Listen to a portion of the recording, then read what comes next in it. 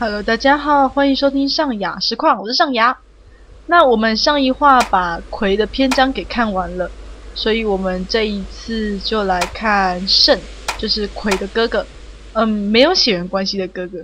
那因为上一话葵葵离家出走的时候，圣其实有追上去，并且有发现他，但是随后就被我们的葵给跑走了。那我现在还是蛮想知道说那个时候圣是什么样的心情，所以我们就从圣的这一篇来看吧。点进去。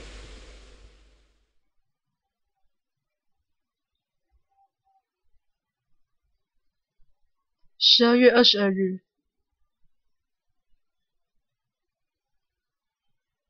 做了一个梦，又是那个梦，抽抽搭搭的哭泣的妹妹。自己，妹妹在拼命的向我道歉，但是我却无法原谅她。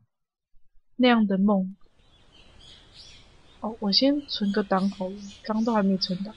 OK，醒过来了，那还是小时候的事情，在爸爸和妈妈还没有离婚的时候，我有一个很珍贵的飞机塑料模型，是属于最喜欢恶作剧时期的妹妹，随随便便的把它拿来拿出来玩。弄坏了机遇的部分，还是孩子的我无法原谅他，然后就这样无法原谅他，哦，就这样无法原谅的爸爸和妈妈离婚了，然后现在在这个家和新的爸爸和弟弟葵一起生活。妹妹现在怎么样了呢？一直很在意，甚至还做了梦。我或许真的非常介意吧。哦，所以就是葵，哦，不是葵，胜在他。跟他妈妈，他原本的妈妈跟爸爸离婚之前，还有一个妹妹，然后那个妹妹就是就在那个时候跟他吵架了，结果两人就留下了芥蒂，就在就就这样在无法和解的情况下就完就完全分开了。那那个他妹妹应该是后来是跟着爸爸走吧，在爸爸哦爸爸死去之后，妹妹似乎在各方面变得很困难，这是最近才知道的。他和被请求照顾的亲戚家里的孩子相处不太好，大概是从阳台被推下去吧。这已经不是相处不太好了吧？这是谋杀哎！天哪！所以如果我跟爸爸走的话，或许妹妹能生活的很幸福。或许我弄错了选择。取出抽屉呃桌子抽屉里的信。这是在不久之前，现在和妹妹居住的父系的祖母送过来的信，在浅蓝色的信中，用漂亮的字如此写着：“要和妹妹见面吗？”等等，妹妹一定会感到很高兴的。下次要一要不要来玩？如此写着，里面也放进了妹妹的照片，背面上写的地址，意外的很近，走不了多久就能到。但是，我有和妹妹见面的资格吗？在妹妹痛苦的时候，自己却在这个家里舒适的享受着幸福。我没有脸和她面对。妹妹有没有在恨我呢？嗯，我总有一个预感，圣的妹妹该不会就是远吧？马后修究吗？等一下仔细看一下圣的长相，搞不好真的很，搞不好真的会很像。是不是连见也没有见到我的脸呢？我如此想着，结果一直没能去。而且，虽然照片放进了相框，放在了桌子上面，但是其实那个相框不知道遗失到哪去了。不管怎样，都已经不能再见面了，不可能了。哦，我觉得圣跟葵都有一种，就是自己的一个自我要求吧。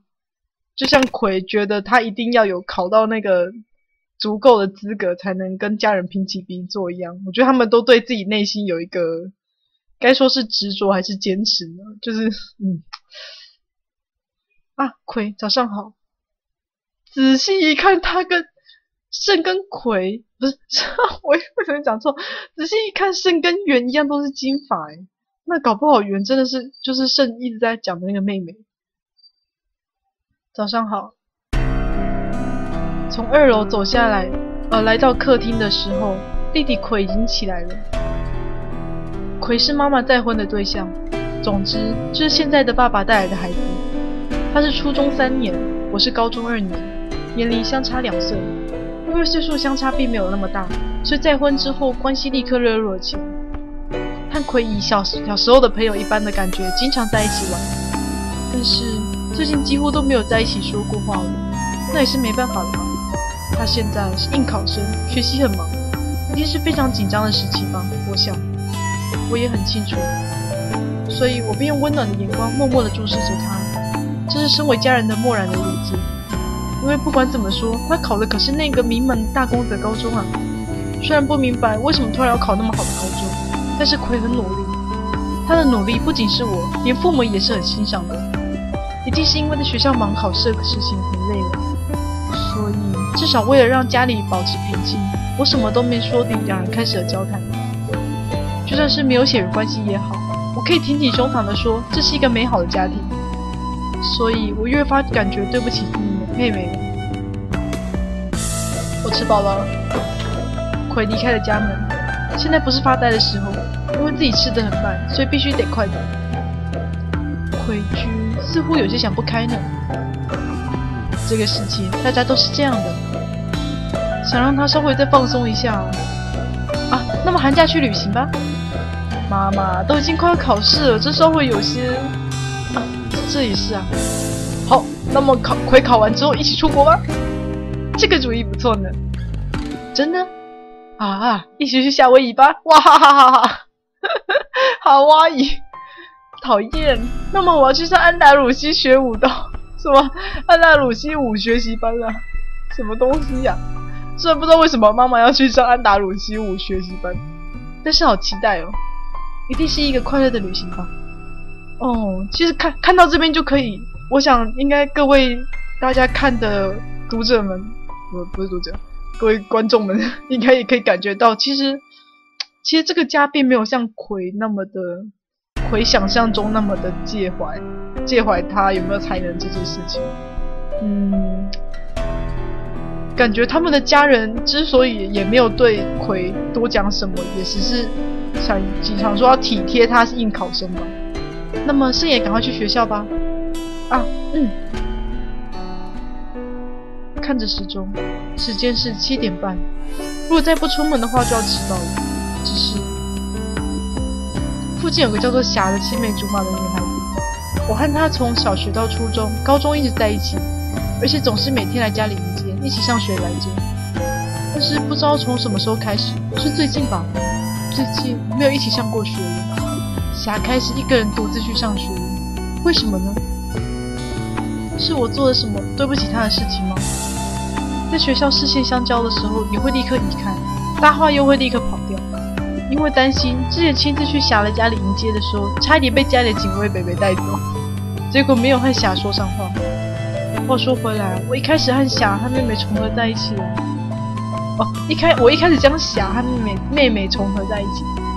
在离婚过去的一段时间，妈妈再婚的时候搬到了这个家里，和新的爸爸见面，还有亏，没有一开始时候的不融洽。但是比起那个，我怎么样也无法原谅忘记了爸爸而再婚的母亲，所以我逃走了。在附近的公园打发时间的时候，看见了一个因为被三个人左右的男孩子抢走了书而哭泣的女孩子，她就是霞。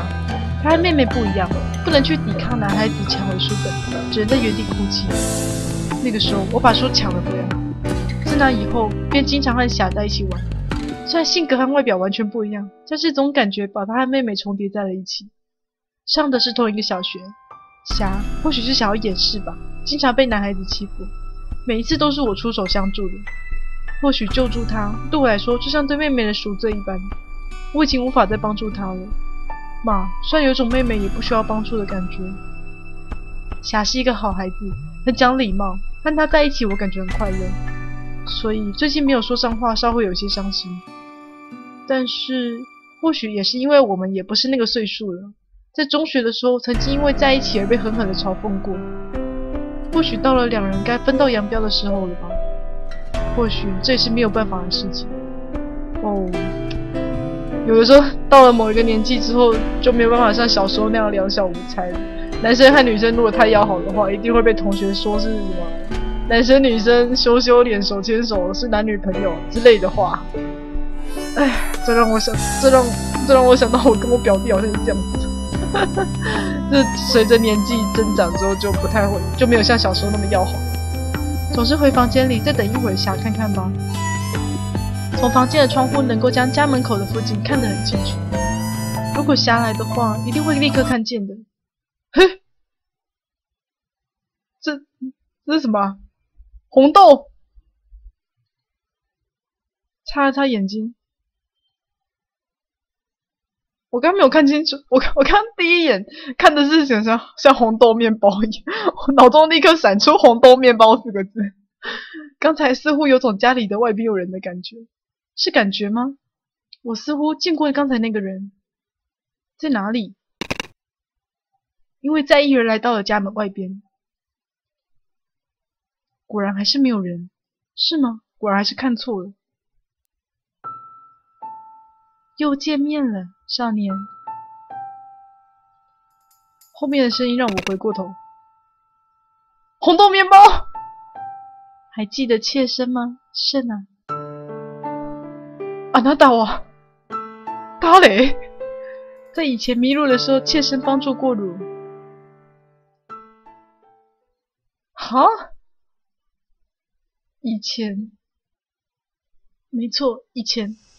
夏天，暑假，小学生的时候，在神社里和同学玩捉迷藏。因为霞说他有一个，他知道有一个绝对不会被找到的地方，所以我跟着去了。然后在神社的后山迷路了。那个时候确实是个明明是晴天却在下着雨的奇怪的天气。霞哭成了一团。我也因为刚才刚刚才搬来，所以完全对地形不熟悉。两人一边牵着手一边走着，竟然敢闯入这样的地方呢？突然响起了声音：“这里不是人能够踏足的地方，快点回自己的家去吧，孩子。”但是不知道路在哪里。什么？这是令人操心的孩子。好吧，妾身带汝等回去。啊，谢谢你。那个大姐姐是谁？名字呢？哦，在询问妾身的名字吗？既然如此的话，妾身名为……名为……名为什么？啊，恒小姐。没错，妾身是恒。哦，不是红豆面包吗？糟了，我在脑中一直在闪红豆面包，红豆面包，红豆面包。是迷路的时候带我们回家的那个大姐姐，在那之后去了好多次神社，但再也没有和那个人见过面了。只是稍微有些令人在意的是，陈小姐的容貌和七年前完全一样，没有任何变化。好久没见了呢，圣。但是为什么会在这里？我在说什么呢？妾身一直一直就在附近呢。哈，没关系了，今天来是为了实现和汝的约定的。约定什么啊？不记得了吗？在带迷路的汝回家的时候定下了约定吧，以汝接受妾身的条件为代价，实现汝的任何一个愿望。想不起来的话也好，约定的青年岁月终于过去了。你的愿望是什么呢？约定，一切接受条件。明明和小姐相遇的事情记得很清楚，为什么那个约定无法想起来呢？确实在分别的时候有有过说了什么话的记忆。虽然你的心意我很高兴，但是我没有什么愿望哦。不是这样的吧？妾身会在漫长的日时间里附身在汝的影子上，这是因为内心不满足而发生的事情呢。就算汝没有自觉也好，强烈的愿望也是有的哦。妈，没有着急的必要，慢慢的想吧。是以听觉为代价的愿望哦，慎重的考虑吧。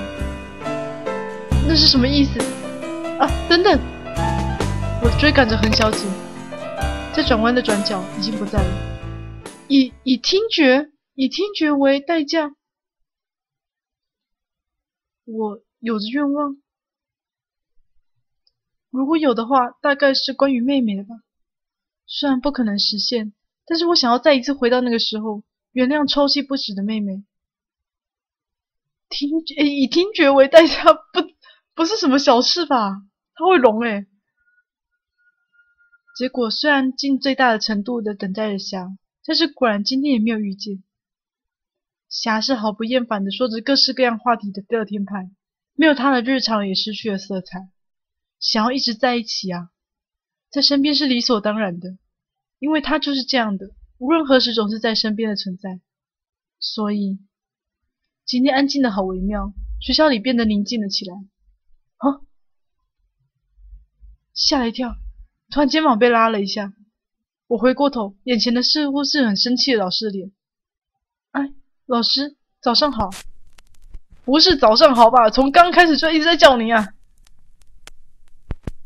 哈？无法听清老师的声音。啊？已已已经聋了吗？可是可是圣不是还没有说他的愿望吗？不会吧？哦，所以这就是圣为什么葵会回家的时候看到圣跟妈妈很着急的样子，所以那个时候的圣是真的出事情了。那个您在说什么？所以呀，就是直至哎，西园寺打起精神来啊！嗯，那个您说什么？听得不是很清楚。什什么声音听不清楚，而且自己说话声音也和平时不一样。我因为不明白老师在说什么而困惑着。似乎注意到了我的情况，老师的脸色变了，又不知道在说些什么。七月四，有哪里不对劲吗？啊，保保保保健室。嗯，老师拉着我的手腕，然后就这样被带了到被带到了保健室。在这之后进行了各式各样的检查，我的耳朵似乎有什么异常，据说要立刻早退去医院接受检查。虽然正确来说是接到了写着这些话的纸。总之，我从学校回去了。就算如此，为什么我不喜欢听音乐啊？也没有开什么挂耳环的穿孔。虽然不明白这两者有什么关系，总之完全摸不着头脑。似乎回来了。哼，你把他的听力怎么了？吓了一跳。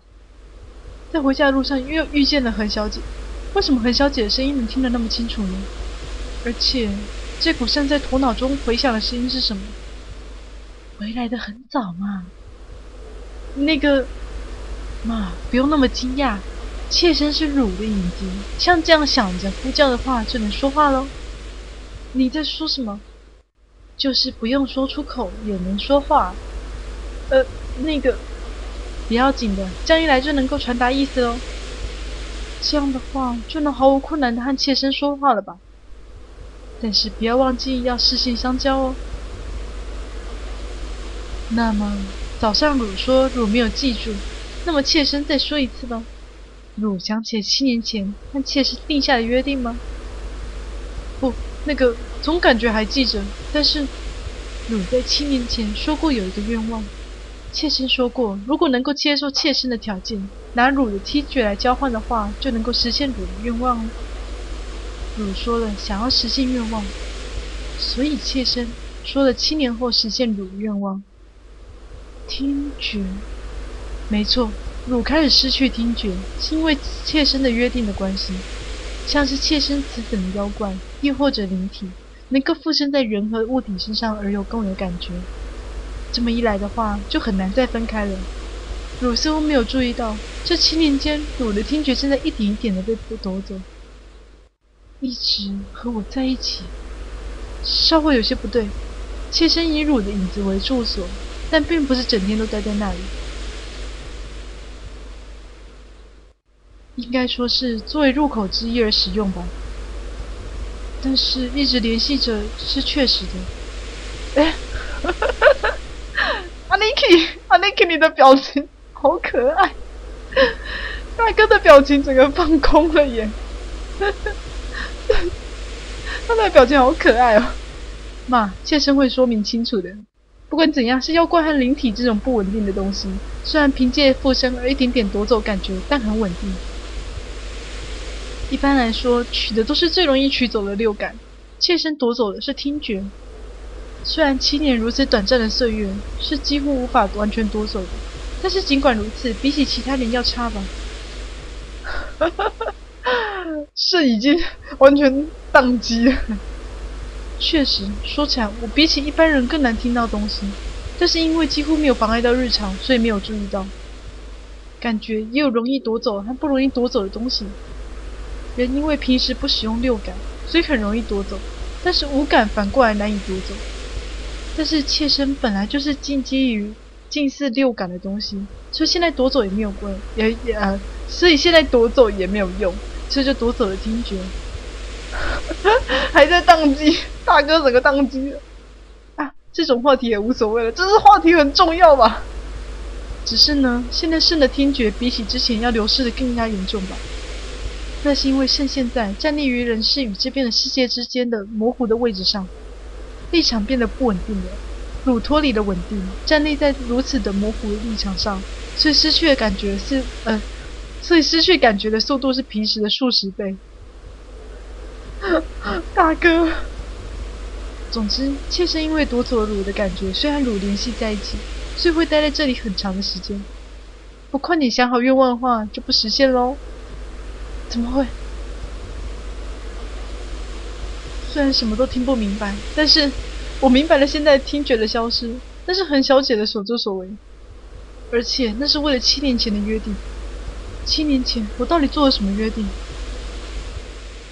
那么难得来一次久违的现世，想喝些茶之类的东西啊！说完，何小姐迈出了步子。那个去哪里？汝的家，帮我泡杯茶吧。说完，迈着轻飘飘的步子走向了我的家。我也追了上去。何小姐，等等！记忆浮现在脑海，我在七年前也像这样追赶在背后。嗯。七年前，不知道七年前圣到底跟恒做了什么样的约定。那我们算一算，这话的时间也差不多了。我们先在这边做一个结束。